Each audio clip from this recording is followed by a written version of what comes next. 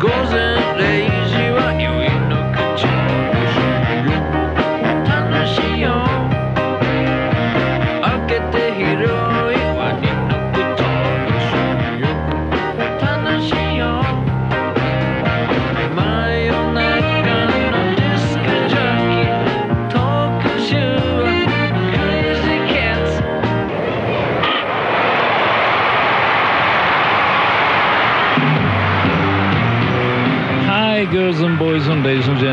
gentlemen. Oka-san, Otot-san. This is Ichio Taki's Go-Go Night Aircraft from a main garage. 60 minutes on a Sunday midnight. えー日本一のクレイジー男、大滝栄一の趣味の音楽だけをかけまくる60分間のお時間のタイムがやってまいりました。さて本日も26年前1975年の9月の1日に放送いたしました「Crazy Cats」を特集いたします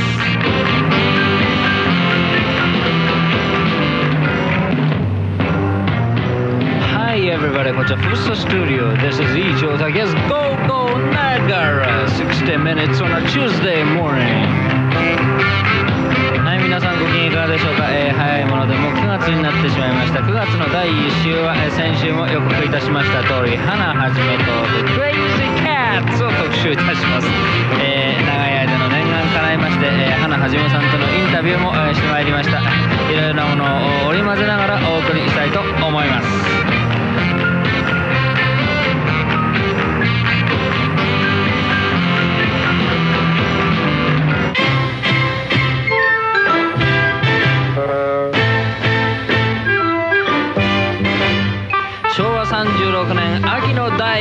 曲「スーダラ節」ス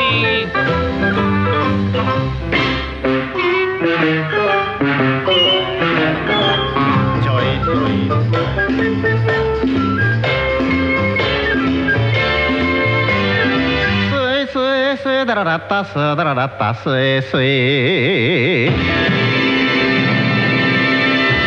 こちら韓国放送でありますあの 最近あのあの形状の何とかかんとかで陳さんがあの日本に行きましてあの金閣寺と呼ばずに金田と呼んでくださいと大使館に申しました。なんていうあの深夜放送であのよく韓国放送がええ。あれなんかバンドマンが好きでねみんなあのフレーズ取るのが「ビジーカではじゃす」みたいなっていうような。そういうようなねもののねええ。楽しみ方があった。わけあそういう時にねあのあのズージャーヤがね「ふんだらったふんだらったふんだらったふんだらったふんだらったふんだらった」っていうフレーズがあった。わけそれがあのスーダラに植木あれやろうじゃないかということで。で青島自体もやっぱりその当時はクレイジーと一緒にその、まあ、ネオ教と共にじゃないけども、スタジオでも一緒稽古場でも一緒みたいな時代でしたから、うん。要するにもうみんなのそのあの 気持ちってのは一番分かってたから,、だからそういうような形でその植木が出てあののあのいわゆるその風刺ソングというか、うん。ああいうようなものがね。そういったの普段からなんかそのポロッと出てきたええポロッと出てきた。それであの,、うん。あのそういう話を昔話を何回もするわけだみんな。うん。鹿児島がそのうちちゃんとそれを頭に入れていくわけ。でできたらほらあのフレーズよ。でばつってばかってわかるわ続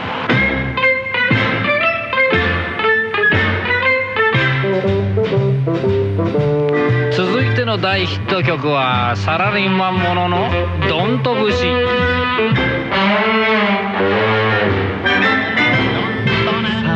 ハドンガラガッタドンとドンと行きましょう。ハドンガラガッタドンとドンと行きましょう。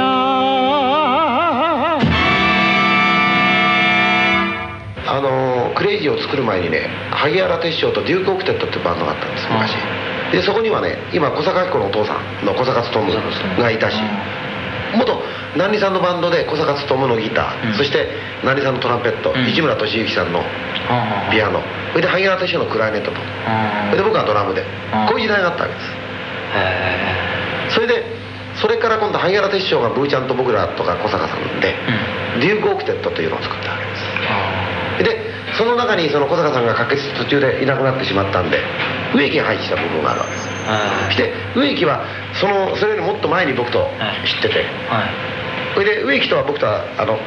4年ぐらい疎遠っていうか全然違った場所で仕事してて、そしていつの間にか僕は野々山って本名から花はじめというね花ちゃんという名前になってて、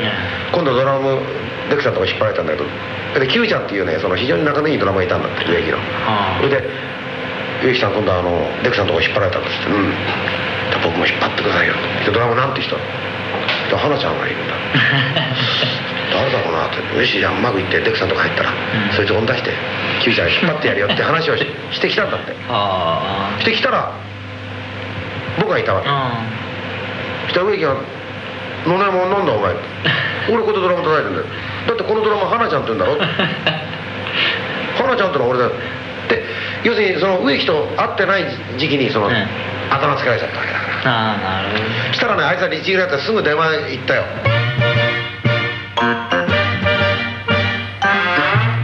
サラリーマンもの第3弾目は「しょぼくれ人生」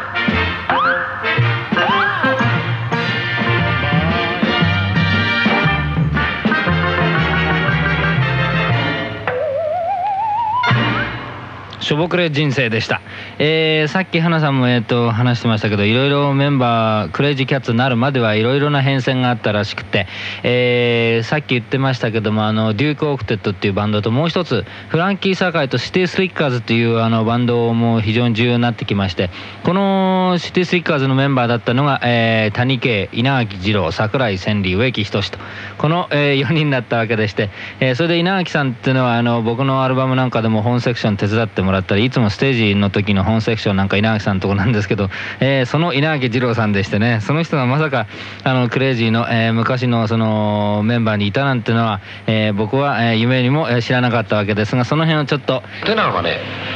柴田正彦っていうあの慶応のライトミュージックにいた慶応の学生なんですよ。これがずっといたんですよ。それで稲垣二郎はねその柴田がその学校の試験になると2月か3月休まなきゃいけないんだ。なるほど。のその時にねあの二郎がエキストラが入って で二郎が入っててで随分モダンなんかもやったし、うん。でクレイジーってのは初期ってのは笑わせることと同時にやっぱりあの音楽が主だったでしょ、バンドええ。だから割とそういう意味で稲井二郎がアレンジしてきたもんやんだから向こう。まあアレンジっていうのは場合はコピーが割と多かったからね向こうの。で自分のテナーそのままそのあのあのローリンのフレーズ取ってきてうん。でこれでやろうとか。うん。でそんなことでよくやってたから。あええそれでもあのあのあれですよやっぱりコミカルなことはショーをやってる時はやってましたけどね。えー稲垣さんもですね、えーそういうコミカルなことは、えーやってたそうでして、えー別に嫌いじゃなくて、えーそういうのも好きだったということでしてアルバムかなんか見せてもらったんですけども植木さんとか谷さんとか一緒に、えーおかしなことやってるですね写真もたくさんありましたね。そのシティスリッカーズからその3人と、えーそしてデューク・オクテットと、まあ、合併したような形になりますか、えー、と系譜上から見ますとね。そしてキューバンキャッツという名前前からですねクレイジーキャッツという名前に、えー変わったのが昭和30年ですから、えー、19いや19じゃねえ1900ですね55年ですか。えー55年ですねロックンロールが、えーちょうど始まった頃でして、えーメンバーが固まったのがですね昭和33年と言いますから58年、えーこの33年の秋でしてこの年に、えー稲垣さんは正式に脱退しております。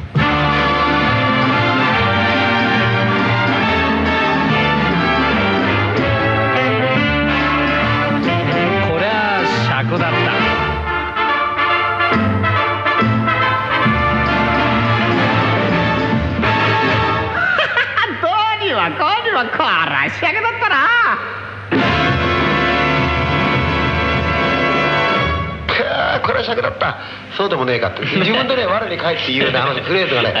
要するにあれはね谷系の精神なわけよ。ああそうですか。あ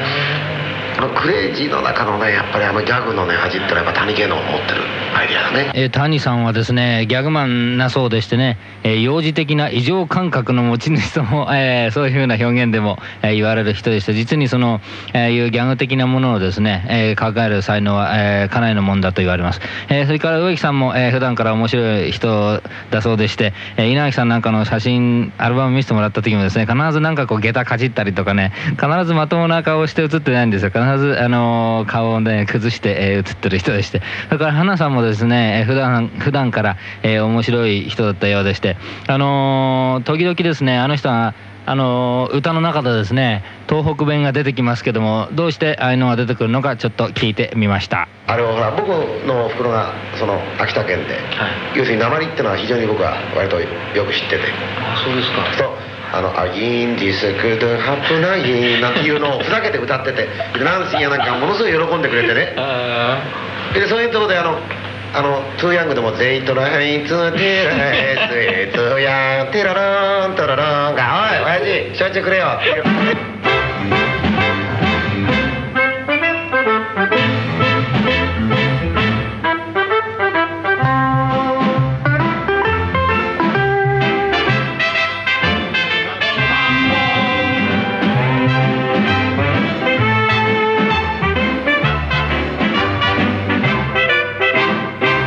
ねサバっていう言葉ね、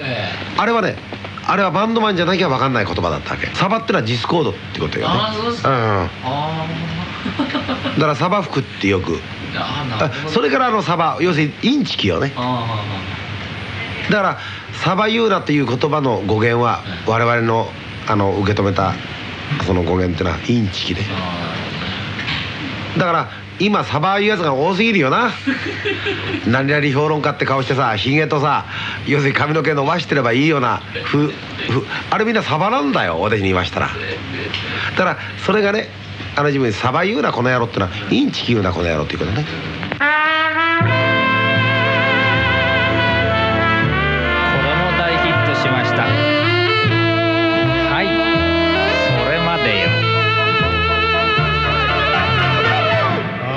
泣けてくる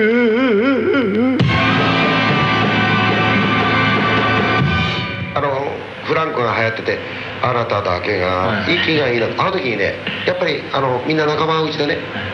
プロデューサーにしてもねラジオであれがカッとかかったってんだね「あ植木はこれでおしまいだと思った」って言うんだよ。したら聞いてたらってなこと言われて その時この時に「うん植木は間違いないと思った」なるほどね。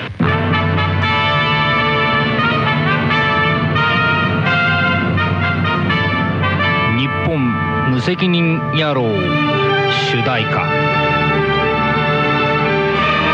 植木仁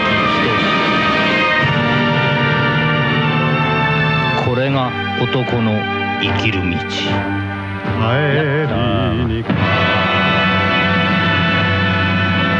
れが男の生きる道でした。いやはやこのなんともはやこのイントロですよ。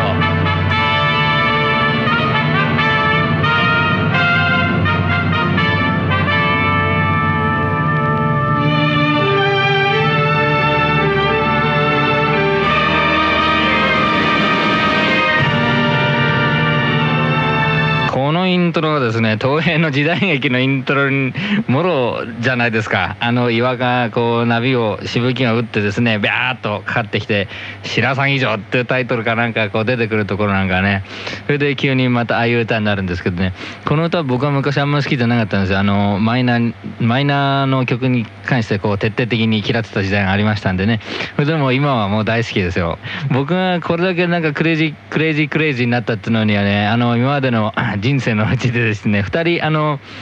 2人のね影響がすごい強いんですよ。1人がねあの中学時代の友人であ千葉信之という名前ですけども彼はですね、えー、布谷文雄君の「冷たい女」という曲の作者でもありますけど彼の影響が非常に僕も強くてですね、えー彼がそのシートを持ってましてねあの頃の結構いいそのシートだったんですけど、えー6曲か8曲ぐらい入ってましてあのそのシートよく聞いたもんでしてね、えー彼がいなければねこれほどまでならなかったと思います。しかしまああの頃のね植木さんのまあ人気はまあものすごかったですね。どうしてこんなに持ってるんだろう。昭和34年1962年7月風切り日本無責任時代主題歌無責任一大男。俺はこの世で一番はいご苦労さん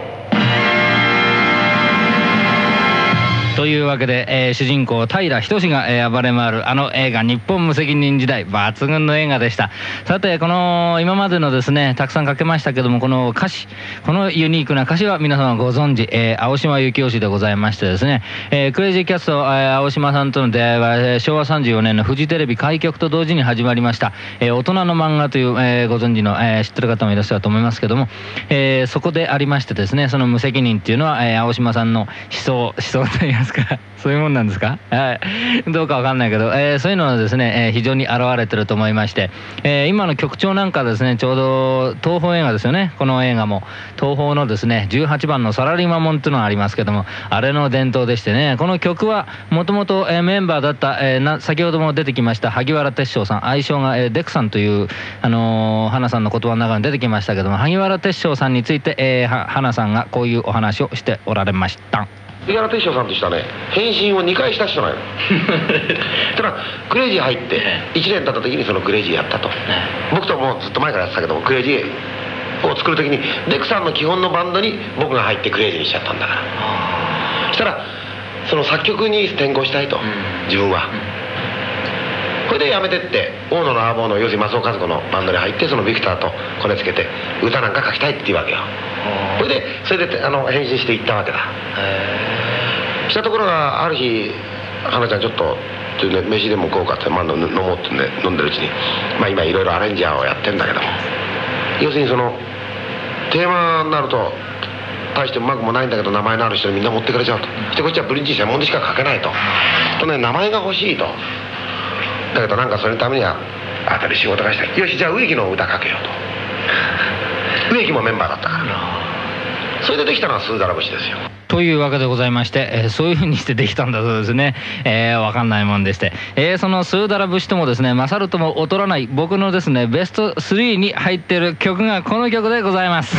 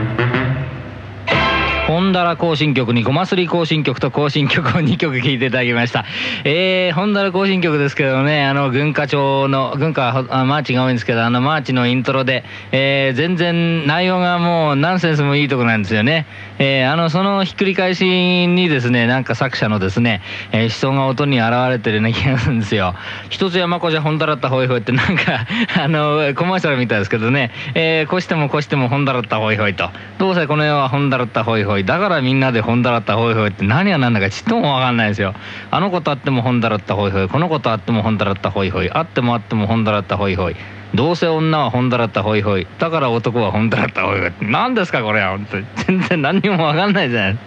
これは非常に面白い。またそのごますり行進曲。これはもうなあの朝の体操ですよこれはもう体操とごますり一緒にするところなど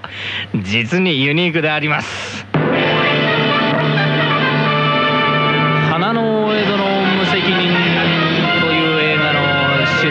ございます。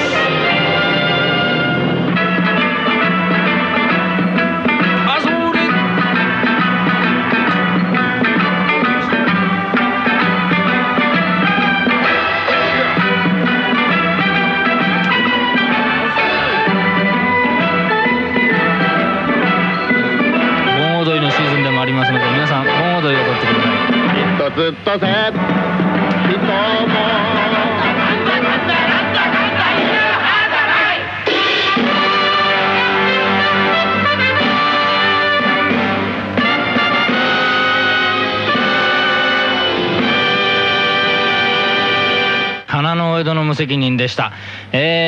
最後の歌詞が抜群、えーお呼びでないのにしゃしゃり出て御託並べてさようならっていうのがもう抜群の歌詞ですね。えー本当にシャボン玉のあのお呼び紙みたいなあれでしたけども、えークレイジークレイジーになった僕のですね、さっき言いましたけど、一人言いましたけど、もう一人はですね、あのココナッツバンクの伊藤銀次っていうのがね、彼も、えー僕のクレイジークレイジーに拍車をかけた一人でしてね、あの中原由美彦著のね、あの日本の経営人って本があるんですけど、あの本に、えークレイジー王朝の知性というのがありまして、今日もですね、あれをかなり参考にさせてもらってるんですけども、あの本をですね、紹介してもらったのが、えー銀次なんですね。えーあの本がなければね、これほどあのあれですよ、クレイジーキャッツをしゃかりきになって集めようなんては思わなかったと思いますしね、えー彼にも非常に感謝しております。えークレイジーキャッツにはですね、初期のブレーンがすごかったということを、その中原由美彦著のですね、えー日本の経営人に書いてあるんですけども、えー初期のブレーンが大人の漫画のディレクターが杉山浩一、そして作者が青島由紀夫、音楽萩原哲章、シャボン玉に秋元近斎藤隆夫、河野陽とそうそうたるメンバーが、えー揃っていたわけでして、えー本当に、えーすごいメンバーでしてね、で青島さんがですね、さて、その頃のですね、当時の国会のですね、答弁を、えーから流行語が生まれまして、それを歌にした曲があるんですけども、青島さんがですね、参議院選に出たのは昭和43年、えー1968年の夏のことでございます。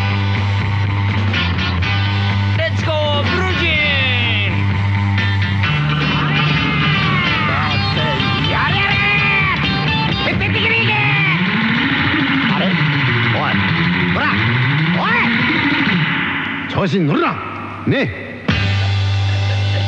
というわけで、えー遺憾に存じますでした、えーこの曲を引き下げて、えー花はじめとクレイジーキャッツで植木さんは、えー、紅白歌合戦に登場しましたね、えーバック、えーバックはですね寺内武史とブルージーンズでした。さてその頃のですねレコーディング風景は、えーどういうもんだったんでしょうか？またその辺を。そうですね。あのレコーディングの場合にね全くみんな無責任というかね割とリラックスした状態であるものを裸足でやったりそれでやりながら非常に誰かが指揮してみたり非常に面白い状態要するにリラックスした状態であのかつてあのサントリービールのあのコマーシャルやった時に12のサントリービールって時どういうわけだかあの時に植木が非常にごぼうか芋を食ってねへが垂れる時でね12のサントリービールって時ねあれアフレコだから後であれ毎回あいつへ垂れてるわけ。で非常にみんなの顔がほころぶだけほころんでるというね。あのだからクレイジーの場合にはあの例えば、あのーレコーディングなんかしててもね必ずなんかそういう面白いことをね各自が見つけてきて。だからオーバーな例がねレコーディングしながらね向こうに女の子がいなきゃさ一人が猿股一丁で前で踊ってみたりね。要するに何か一つの仕事してる時に楽しくなきゃたまらないとというそのあの伝統的な要するにその何かがあるんですね。だからあのステージでやってるギャグじゃなくてあれは実は我々の普段の生活の中から出たもんだっていう考え方からね。だからそういうものが青島が見てだからそそういうものから青島がいろいろ感じたんだろうと思うし。日本一のゴリガン男。入歌でありますところのしびれ節。俺はあの子にしびれてる。しびれちゃったしびれちゃったしびれちゃったよ。しびれちゃったしびれちゃったしびれちゃったよ。あんな白金も小金も玉も何線に勝れる宝子にしかめやもって千年以上の昔の親父が今より立派な育てぶり学校の成績当てにはならぬ。夢のある子が宝物だこんな歌詞なんて今のね要するに PTA に聞かしたいね。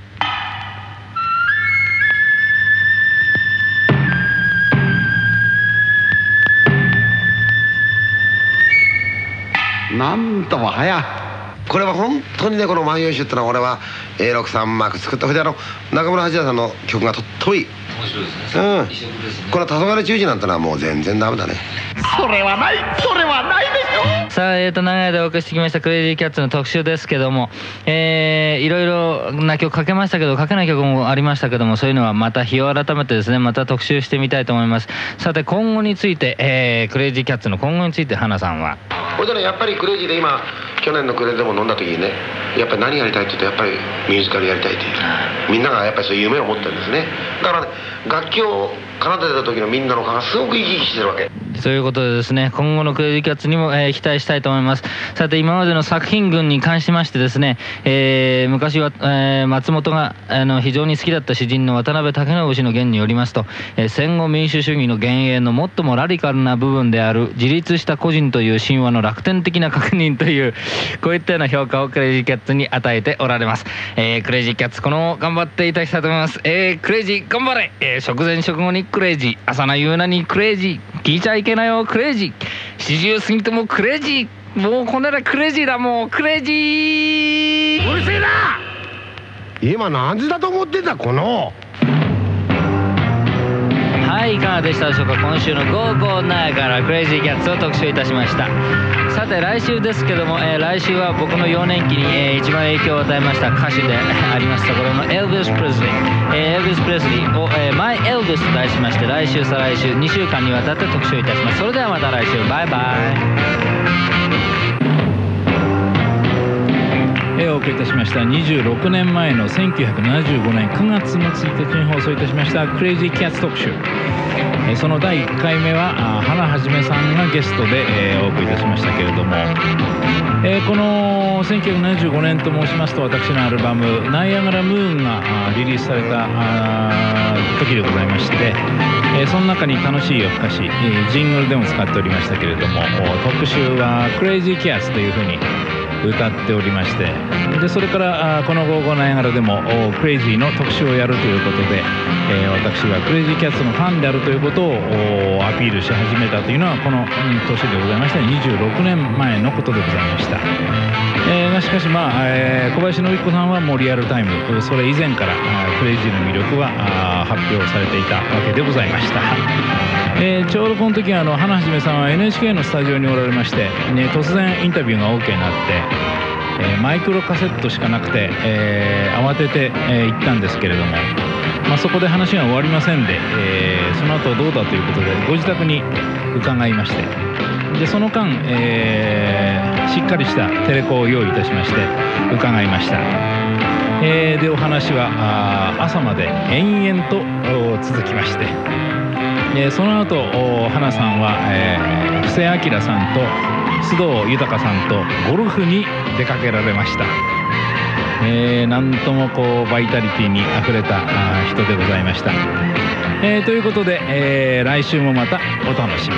バイバイ。